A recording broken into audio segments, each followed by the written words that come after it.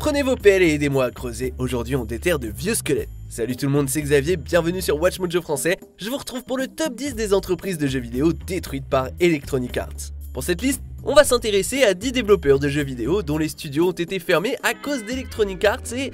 euh, vous savez quoi? Vu leur passif, ils ne méritent plus qu'on les appelle Electronic Arts. Du coup, on a demandé aux gens sur Twitter le véritable sens des initiales EA. On verra les réponses dans la vidéo. Si vous trouvez ça méchant, moi je dis que rien que le fait qu'un top 10 sur le sujet puisse exister justifie le tout. This is home. This mess. Numéro 10, Phenomic Game Development. There is a rune monument right near. Summon your army there. It's the only way you can break through to Greyfell.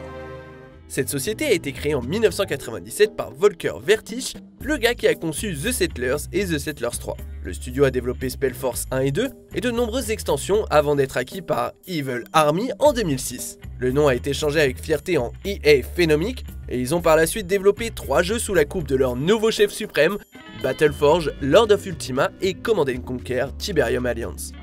Select location. Malheureusement, ça s'est avéré être leur dernier jeu. Le studio a été fermé par Executive Assistant à l'été 2013. Les raisons sont floues. Easy Application a simplement déclaré que ça faisait partie d'un plan de réalignement et qu'ils se concentraient leurs équipes sur des zones de croissance prioritaires, blablabla. Numéro 9, Mythic Entertainment.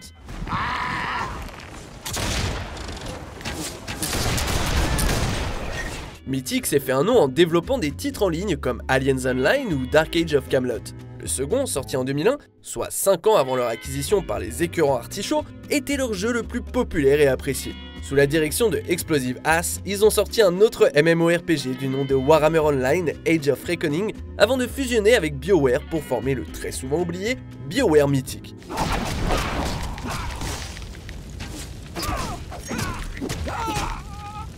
C'est à peu près au moment de cette fusion que le fondateur de Mythic, Mark Jacobs, a quitté l'entreprise. Le studio a finalement retrouvé son nom de Mythic Entertainment, mais il a été entaché par le freemium sur mobile descendu par les critiques Dungeon Keeper.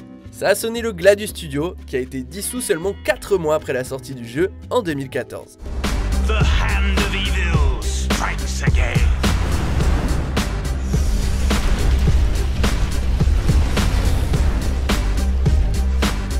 Numéro 8, Bullfrog Productions.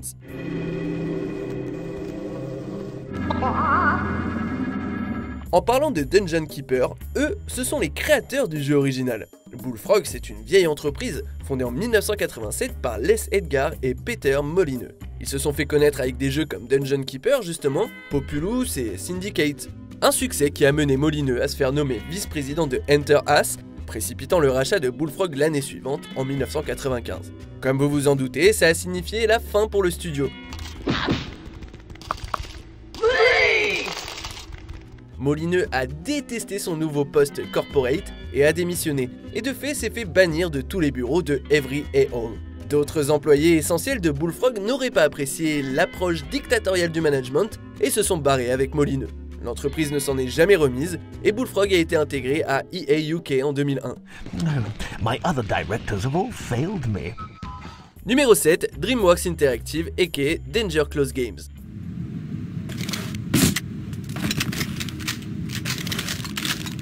En 1995, Steven Spielberg, DreamWorks et Microsoft se sont tous lancés dans une magnifique aventure du nom de DreamWorks Interactive. Ils ont développé plusieurs jeux Jurassic Park et Chair de Poule avant de frapper fort avec Medal et sa suite, Medal of Honor Resistance.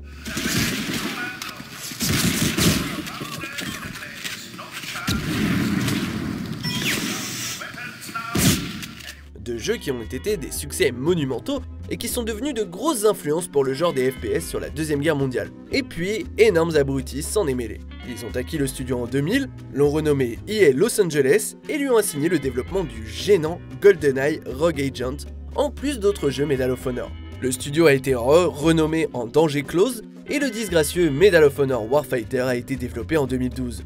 Ce jeu s'en est mal tiré et c'est là que Elephant Aveugle a mis un terme au studio. Donc oui, le danger était vraiment close. Numéro 6, Pandemic Studios. Keep your panties on, Mary. I just got a word over the radio. There's an army convoy right outside this town. With tanks. Thank God. Formé en 1998 par d'anciens employés d'Activision, Josh Resnick et Andrew Goldman, Pandemic s'est vite distingué avec des titres comme le Star Wars Battlefront original, Mercenaries Playground of Destruction et Destroy All Humans.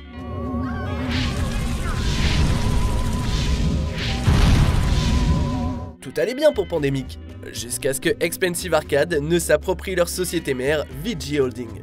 Sous ce nouveau règne, le studio n'a sorti que deux jeux, deux jeux mal accueillis en plus, Mercenaries 2 World in Flames et Le Seigneur des Anneaux L'Âge des Conquêtes. La branche australienne a fermé peu de temps après la sortie du second, en janvier 2008, et toute la société a suivi en novembre. 228 personnes se sont retrouvées sans job, sauf 35 chanceux qui ont été intégrés à EA Los Angeles. Et Pandemic a été victime de sa propre pandémie. You beat me. I can't believe you actually beat me. They never do. You know, you don't look so hot. Numéro 5, BioWare Montréal. I'm fine. My arms got the brunt of it. Stuff exploding like this happen often? Eh bah, éternelle absence a gâché la réputation et les finances de BioWare. C'est gagnant-gagnant, ou plutôt perdant-perdant. BioWare broie désormais du noir à cause de sorties démoralisantes comme Mass Effect Andromeda ou Anthem. You wouldn't be building this up if it stayed that way. Yeah, okay. Mais le studio a aussi connu de gros coups durs financiers, dont la fermeture de sa branche à Montréal. Cette branche avait été ouverte en 2009 pour aider la partie principale d'Edmonton avec le contenu téléchargeable et le multijoueur. Et Nix Atari hein, a donné à Montréal les clés de leur seul jeu phare, Mass Effect Andromeda. Ça ne s'est pas bien passé, pour rester gentil.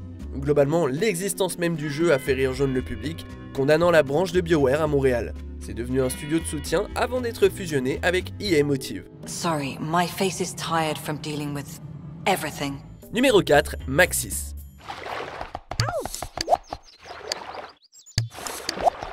Maxis a été fondé en 1987 par Will Wright et Jeff Brown. Ils ont très vite eu du succès grâce à leur jeu de simulation. SimCity, sorti en 1989, leur a vraiment fait une place au soleil. Ils ont été acquis par Estoyaki en 1997, trois ans avant de toucher encore une fois le jackpot avec les Sims.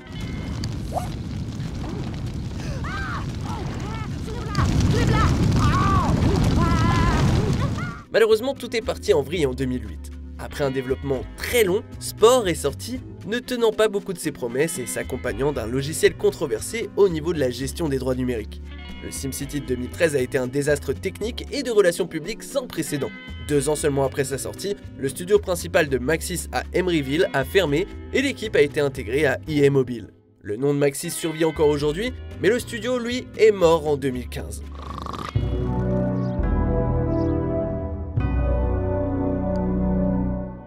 Numéro 3, Visceral Games.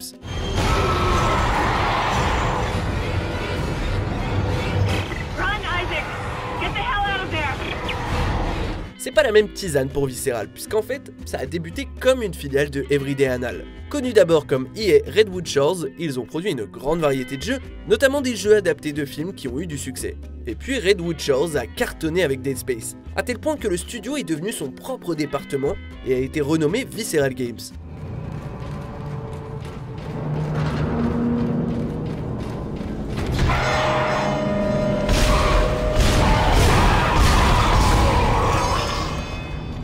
Malheureusement, Dead Space 2 est considéré comme une déception financière. Du coup, Extreme Audace a décidé de rendre Dead Space 3 plus accessible, et apparemment plus accessible, ça veut dire ajouter des tas de microtransactions et une mécanique en coop, dans un jeu d'horreur. Le retour de flamme a été chaud. Dit, ce qui a fini de tuer Visceral, c'est le jeu solo Star Wars au nom de code Projet Ragtag que le grand Manitou a tué dans l'œuf, persuadé que les jeux solo ne sont plus viables économiquement. Une connerie du genre. Bah ouais, bien sûr.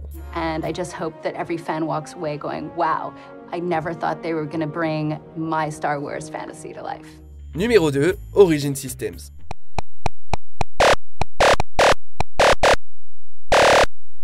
L'histoire d'Origin Systems est dramatique. Cette entreprise est très old school. Sa création remonte à 1983 par les frères Richard et Robert Garriott. Le studio est devenu mondialement connu grâce à ses franchises Ultima et Wing Commander. En 1988, la société avait atteint 50 employés, dispersés entre le Texas et le New Hampshire. Extra Ads a acheté la société en 1992 et a continué de taffer sur la franchise Ultima. Mais ce qui a tué le studio, c'est le jeu Ultima 9 Ascension.